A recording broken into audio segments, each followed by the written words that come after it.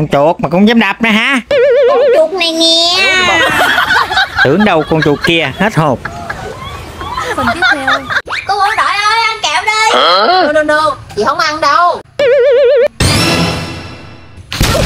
Ăn kẹo đây Tại cô bộ đội sao sâu găng đó.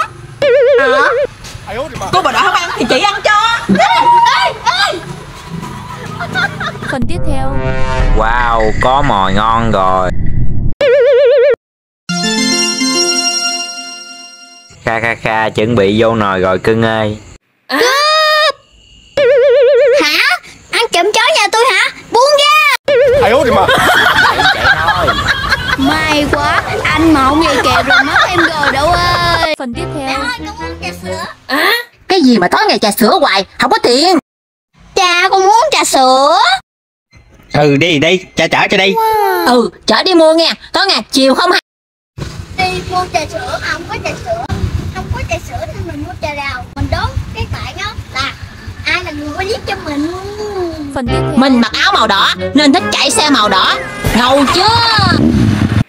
Mặc mặc áo màu xám Chạy chiếc xe màu xám Ngâu lắm. Cho nên mình thích chạy xe màu đen nhau rồi Sao nó không mặc áo cùng màu xe ta? Cảm ơn các bạn đã xem hết video